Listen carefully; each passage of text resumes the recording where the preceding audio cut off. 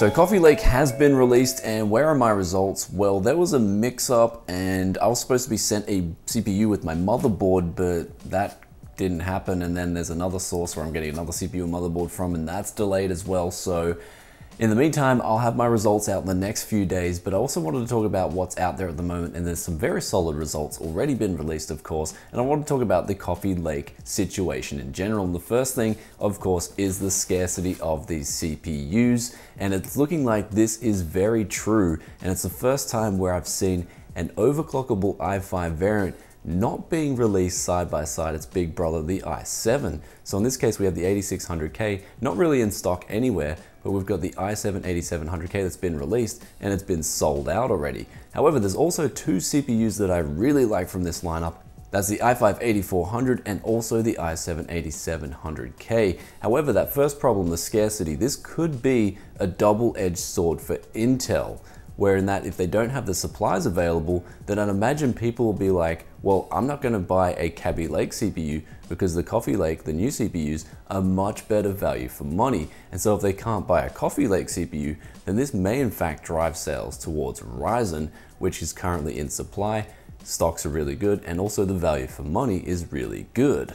So the second problem I wanted to talk about before we talk about the CPUs themselves is the fact that they've only released one motherboard, and that's a Z370 lineup, and they haven't released the cheaper variants like the B360 or the cheaper H variants. And this spells a little bit of a problem, especially for people getting into PC gaming and they want good value for money and they want to buy that i5 8400, which is easily looking like it's really good value for money. It may end up being the best CPU in the Coffee Lake lineup. I just have to test the numbers. I can't wait to do that. But if they can't couple that with a cheaper motherboard like you can on Ryzen, for instance, you can get a Ryzen 5 1600, a B350 motherboard. If you can't do that on the Intel lineup, then this could score problems for Intel, especially in the next three months. So these cheaper motherboards are rumored to come out in the next three months. However, in the meantime, you can only buy an i5 8400 and a Z370 motherboard, which is kind of pointless if you don't want to overclock and you have no intentions of overclocking, then you can save some money.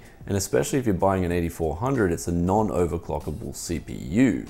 So with those two points aside though, let's talk about the i5 8400 first. This is looking like it's my favorite CPU of the lineup as it's going to be bringing some strict competition to the Ryzen 5 1600, which is AMD's 6 core 12 threaded variant, and this was easily my favorite CPU of the whole Ryzen lineup. It was just the balance king. It's so relevant in 2017. It's so good for productivity for people on a budget. It's also really good for gaming. And so the i5-8400 in ways spells competition to this Ryzen 5 1600 variant. It's really good value for money. You're getting six cores, six threads, but you're also getting that better IPC from Intel's lineup. However, with clock speeds, I'm going to be checking this out, doing a lot of gaming benchmarks and seeing how it stacks up against the Ryzen 5 1600, both stock and overclocked, and I believe this will be a very good comparison for you guys.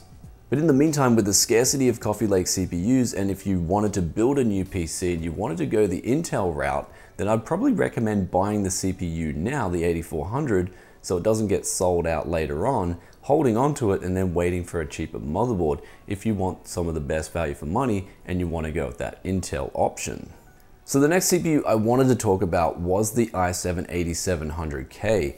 This is definitely going to be a competitive CPU in the market for people looking for that productivity CPU, but also something that it will be easily the gaming king. It has the IPC the same as the 7700K, but in a lot of ways it is looking like it is overclocking a bit higher on average. I've heard of a lot of people already getting 5.2 gigahertz and even without delidding, so I can't wait to get mine delidded, see how high I can overclock it. And also on that note, I believe this CPU is going to be cannibalizing Intel's own higher end lineup CPUs. I can't imagine anyone going out and buying a 7800X or a 7820X now that the Coffee Lake 8700K is released. And in ways, the 7900X is also a big ask as well. If you need those extra PCIe lanes and you want to go Intel, then that CPU is a lot more expensive, over $700 more expensive than the Coffee Lake variant, and it doesn't perform a whole lot better. And in some ways, it won't perform as good, even in productivity, where some applications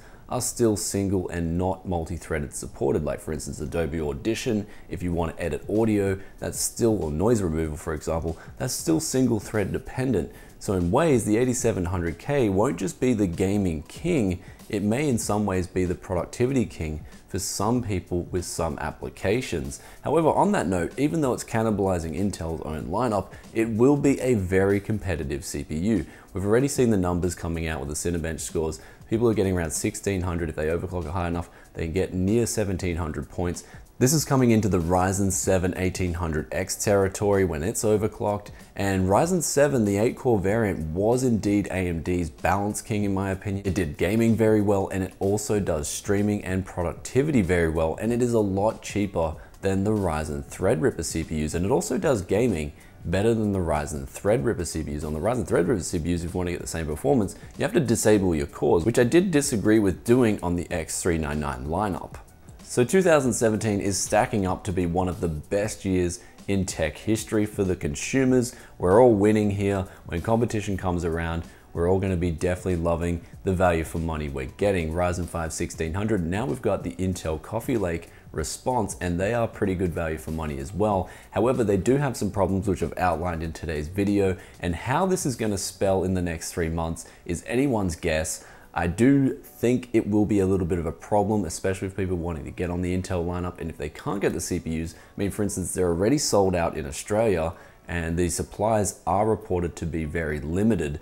So whether this actually drives more sales towards Ryzen as well remains to be seen or whether people are that patient and they're going to wait until supplies come back in or if people want to get for instance the i3-8100 Intel's budget 4 core which actually looks like it's coming in at a very good price as well and wait for a very cheap $50 motherboard from Intel remains to be seen. So anyway guys, I hope you enjoyed my thoughts and opinions video today on Coffee Lake. If you did, then be sure to give it a big thumbs up. And if you have any questions or comments, then be sure to drop a comment in the comment section below. I mean, what do you guys think of the new Coffee Lake release?